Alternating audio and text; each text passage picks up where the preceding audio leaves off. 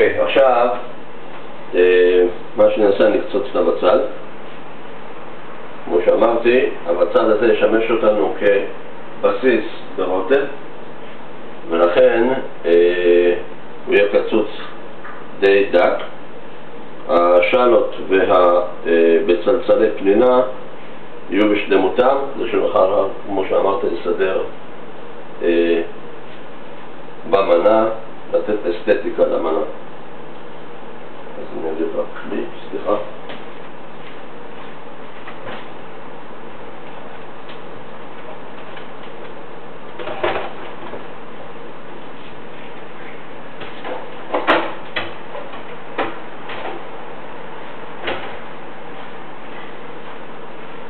סדר הבישול יהיה כדלקמן בצל, קרשה, סלרי וירקות שורש. מדוע קודם כל בצל?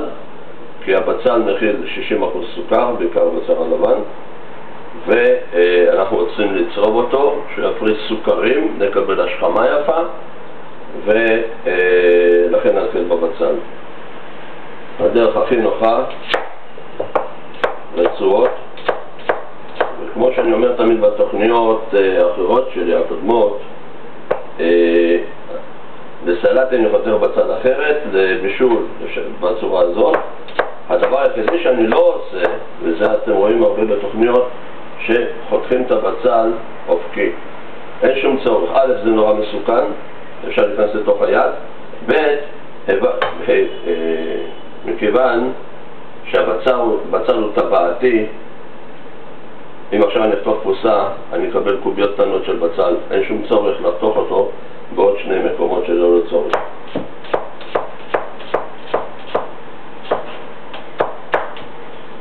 גם לא חייב להיות מדויק, מכיוון שזה הולך לרוטב, זה לא הולך לסוגה של סלטים. לא ללחוץ ישר למטה, אלא בתנועה, ואז הבצל נחתך יותר טוב, את הגזע כבר אנחנו זורקים.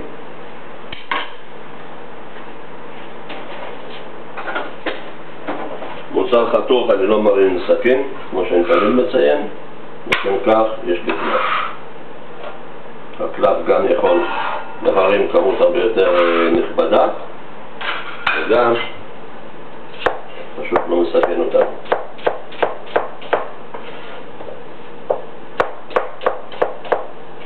גם כאן אני לא לוחץ מלמעלה, אני לא חותך ונע. ואז יש חתירה טובה יותר של הסכין, ואין מצב שהיא תחליט. בבצל צריך מאוד להיזהר מהקרום, יש קרום שקוף שנשאר על הבצל, ואת הקרום הזה חייבים להוריד לפני שפותחים את הבצל. אם לא, הלב של הסכין, הסכין לא ממש חדה, הלב יכול להחליק והוא תמיד יחפש מישהו לנשוך אותו, זה בדרך כלל היד שלנו.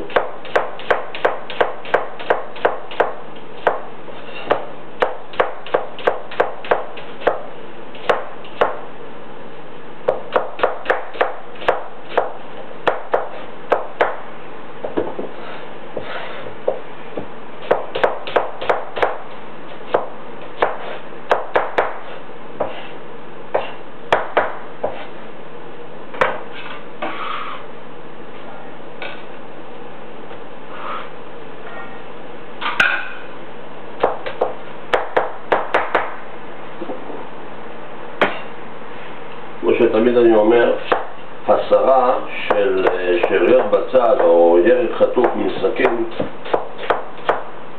הדרך הכי טובה לעשות את זה עם הקלף.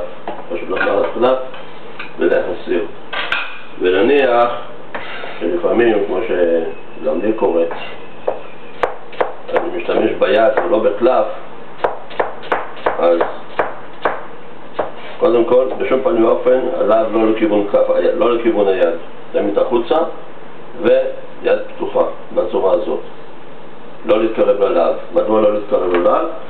מכיוון שאפילו שהלהב חד, תוך כדי עבודה, הלהב מתקהה, וזה אומר שקצה הלהב, ממש קצה הלהב, מתכופף לצד כלשהו, וכשאנחנו נעביר את היד על הלהב, אנחנו למעשה מעבירים את היד על להב שהתכופף, ואז אנחנו פשוט חותכים את האצבעות. זה סתם חבל.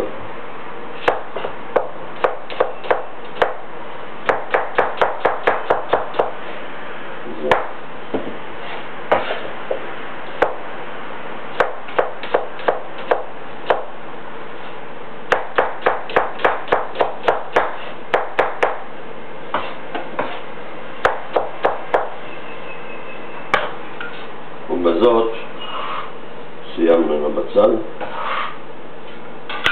דרישה.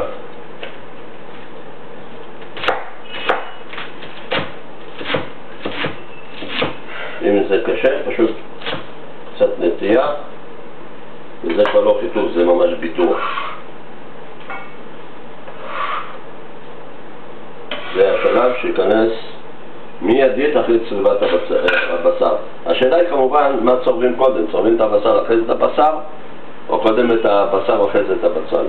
אה, הדרך הנכונה זה לצרוב את הבשר קודם כל, כמו שאמרתי שיווצר לנו בתחתית של הסיר, בהידבקות, תיווצר לנו שכבה של אה, בשר צרוב, על השכבה הזאת נשים את הבצל ומזה אנחנו נפתח את הרוטב.